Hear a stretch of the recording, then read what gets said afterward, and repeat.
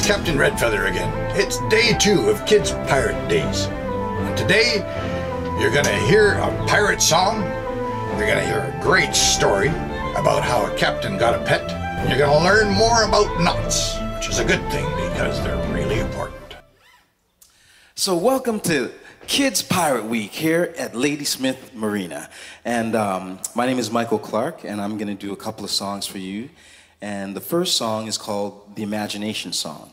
Now, I wrote it about using your imagination to be anywhere you want. So, since it's Pirates Week, why don't we do one about being pirates? All right. So, what I've done earlier is I've recorded the music, the guitar, and the bass, and some drums. And I might play my sax a little bit later. So, the song basically goes like this.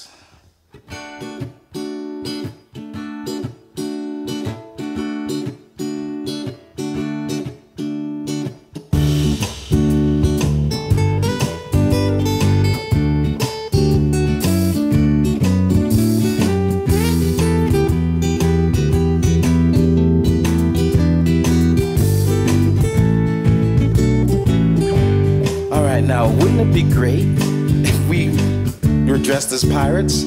Why don't we use our imaginations to get there? All right, ready?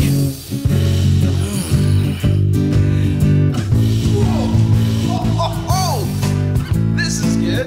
All right, I think we're ready to sing the song. Here we go.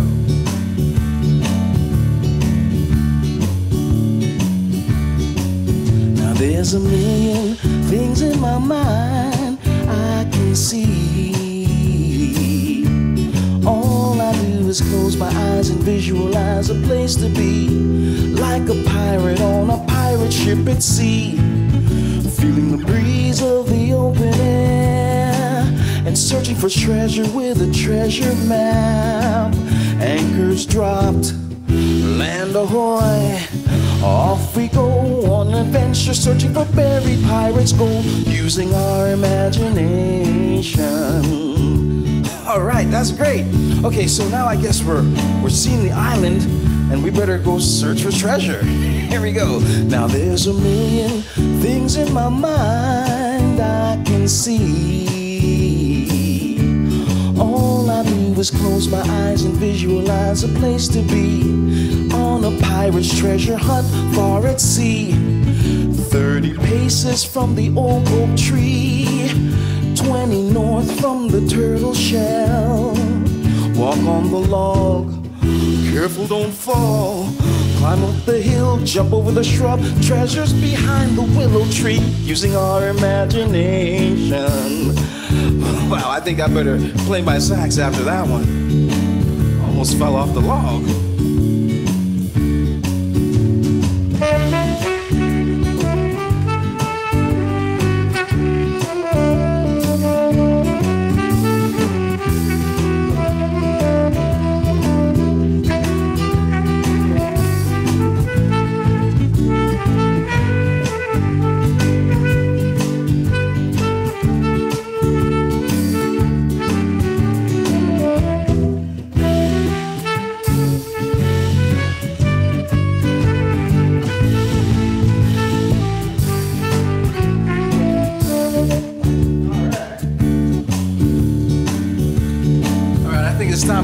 Home. More. Now there's a million things in my mind I can see. All I do is close my eyes and visualize a place to be on a pirate's treasure hunt far at sea. Now digging for pirates' treasure can be fun, but now the islanders have us on the run. Back to the ship, anchors away. Hoist the sail, there she blow. Army matey, here we go. Yes, it's my imagination. Yes, it's my imagination. Yes, it's our imagination. Ahoy, mateys, and welcome to Story Time. Get nice and comfortable and get ready for a great pirate story. The story today is how Captain Redbeard gets a pet.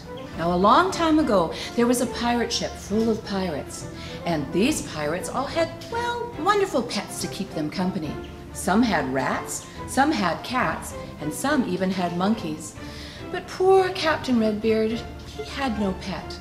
So the crew decided it was time to get him that special, special friend. Well, said the pirates, what should we get him? I don't know.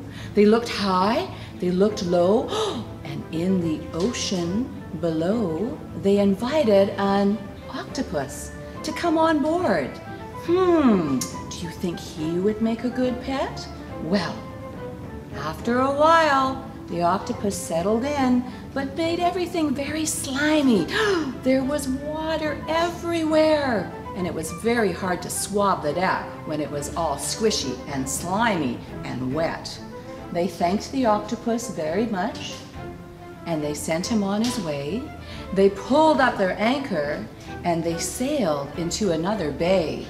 There's a farm, said one of the pirates. Oh, oh, please, please, please, please, said the pirate. One of my favorite animals in the whole world is a cow. They talked to the farmer and asked him if they could borrow the cow to see if he would be a great pet for Captain Redbeard. Well, that cow was kind of okay. It was great having milk in their cereal every morning, but that's all he did. He sat there and chewed his cud and simply stared. Hmm, not a great start to the pet adventure. They thanked the cow very much and sent him on his way. And they began to sail away into another harbor. They looked high, they looked low, and behold, they found a harbor with a zoo. said one of the other pirates. Oh, oh, oh, one of my favorite animals lives there. Please, please, can we have a pet elephant? of course. Think about it. An elephant on a pirate ship? No other pirate ship has an elephant. Please, please, please. So they talked to the zookeeper, asked if they could borrow the elephant for a little while. Well, that elephant was way too much fun. It was great getting cooled down by his splashes all day long. But there was one small problem. He was just a little bit too big. After a while, the boat started to tip this way and that and the pirates began rolling into everything. Well, said the pirates, not a great choice. So they went back to the zoo, took back Mr. Elephant after a very big thank you and a goodbye, and they sailed off into the ocean to see what they could find next. They landed on an island. Oh, and after being so very, very hungry for lunch, they began to look for treasure. What is that sound? said the captain and the pirates. Ah, treasure. what was that? And again. Ah, treasure. They looked high and low and noticed that out of one of the trees there was a parrot. Well, that parrot took one look at them, flew down to the captain and nuzzled right on his shoulder. And not only that, but nuzzled into his neck. Ah, treasure. Well, according to the pirates, what more could you ask for? Parrot that knows where treasure is hidden? They invited the parrot to come and sail the seas, and now Captain Redbeard had the best pet and a friend indeed. Thank you, Mr. Parrot.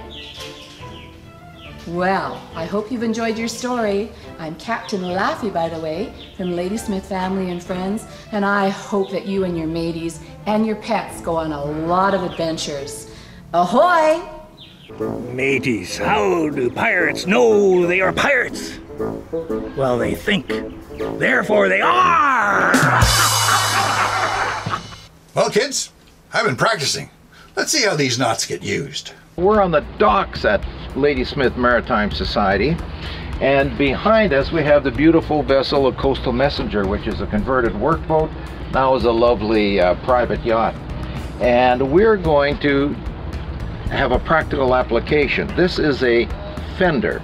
It's meant to fend boats off a dock or some other surface that can damage it. So these have to be hung by a line from some point on the boat. So the first thing we have to do is attach the line to the fender. Now I think a knot that would work nicely for that would be the, how about the round turn and two half hitches? That's exactly what that, I was was, thinking. that was coming to mind. I- okay. Yes. So, how about doing that for me? And let's leave as much lazy line as possible. Okay. Okay. So this is the working end and this is the lazy end. Yes. Yes. Okay. Okay. So now we go in ways. Like There you go. Now we want this one to be pretty long. Okay. Is okay. There. There. There. That, that's that's nice. And now the two half hitches. this way. Yeah. Okay. Bring that through there. This one. This way. Take this Yep. little one through there. Okay. Right. Okay, there's one half hitch, and then do it again the same direction. No, same direction. There you go. Okay, and then form the knot. Okay, then we go to tie it to the boat, and whoops, whoops, the line is too short. Ah, we know a trick for that, don't we? We have a knot for that. Okay, so Josie, perfect job. Okay, now, Selena, Yeah. what knot do we tie now to, to add line to this? We would call that maybe the uh, sheet sheet band, the double sheet Yeah. band. Okay, so I'll hold this Okay. and you do the weaving, okay? Okay. Okay, there. And there's the single. Go, no, no, Oh, go around the same way. direction. Yeah.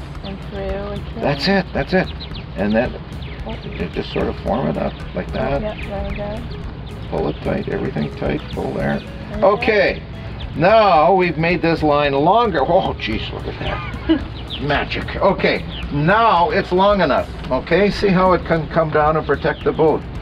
So the next knot to attach this, Kennedy. Come on.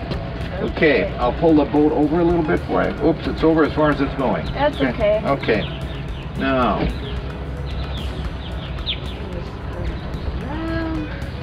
cross over.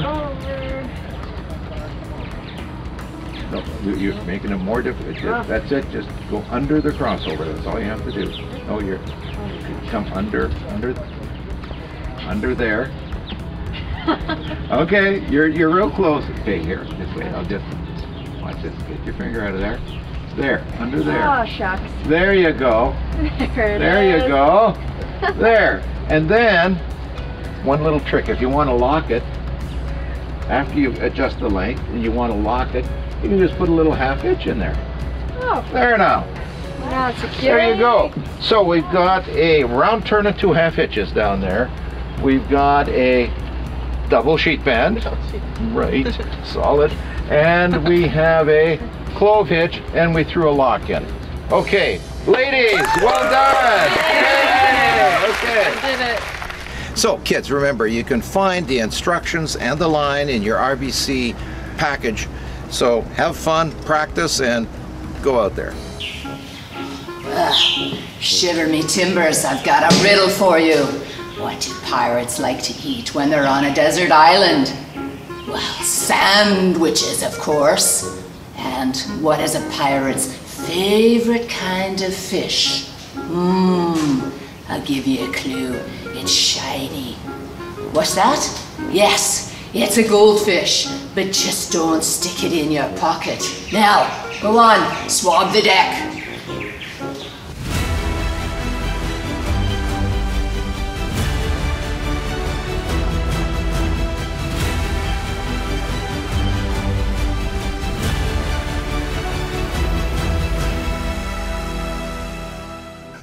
Well, kids, that's it for today. I learned a lot, and I hope you did too. Don't forget to tune in tomorrow for another great show.